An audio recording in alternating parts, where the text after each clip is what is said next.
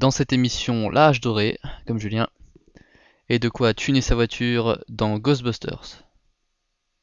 On commence donc avec euh, Golden Axe, sorti euh, sur Mega Drive en 1989.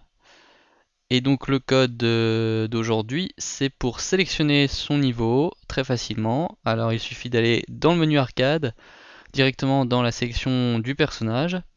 Alors le code, c'est laisser appuyer gauche et bas du pad et en même temps appuyer sur B et Start.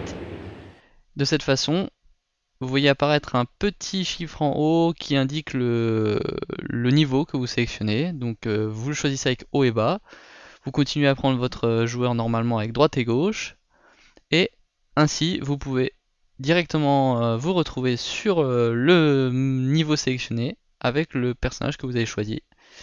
Et donc ainsi, vous pouvez naviguer dans l'intégralité du jeu grâce à ce code.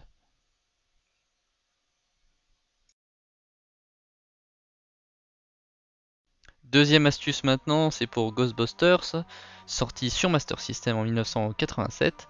Et là c'est très simple également, ça vous permet de gagner énormément d'argent pour pouvoir euh, euh, tuner votre caisse, euh, pour pouvoir choisir après des éléments importants pour la chasse aux, fantômes.